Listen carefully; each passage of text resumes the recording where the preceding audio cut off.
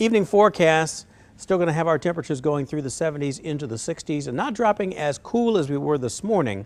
Probably going to get down to the upper 50s to near 60 degrees, but kind of nice to have the clear icons on this graphic. 12 hour forecast looking at your Saturday. Lots of sunshine, ice cream weather.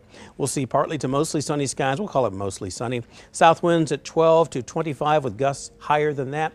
High temperature 84 degrees. Now that is above normal. We should only be in the 70s, but it looks like for the next few days we're going to be above normal and running that way for probably the next few within the nine day forecast. Low temps tonight, as mentioned, not quite as chilly, only getting down to 60.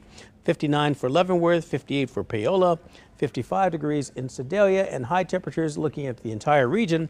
Everybody in the 80s with that southerly wind that's going to be pretty strong. So that's the only downside. Tomorrow the winds will pick up and they're probably going to stay pretty breezy into most of the weekend as well. The exclusive First Alert nine day forecast, there it is, near 90 degrees on Sunday, windy conditions 71 in the morning. Not a bad day, by the way, for sporting. I should mention, stray shower mainly to the north, and it's not really that big of a deal, so I think most of us will stay dry and not even know it's going to be happening. 73 to 89 degrees on Monday, picking up the forecast once again. Tuesday, chance of thunderstorms in 85, cooling down on Wednesday back to 73 degrees. 70s on Tuesday and staying in the 70s to near 80 degrees the rest of the nine day forecast. Next chance of thunderstorms comes in next Saturday.